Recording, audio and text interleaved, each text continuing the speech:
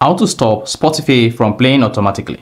So if your Spotify application is playing automatically, each time it is connected to the internet, whether mobile data or Wi-Fi, then this video is going to walk you through how you can easily stop this step by step. So if at the end of this you found this offer informative, please don't forget to like and then subscribe. Now the first you want to do is go ahead and open the Spotify application on your phone.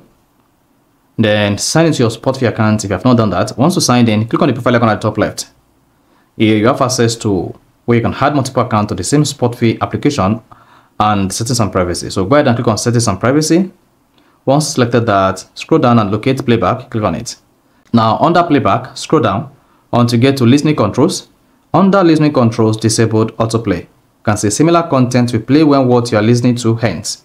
So once you disable autoplay, this is going to stop the Spotify application from playing automatically. So that is basically how to stop Spotify from playing automatically. So if you found this offer informative, please don't forget to like and then subscribe.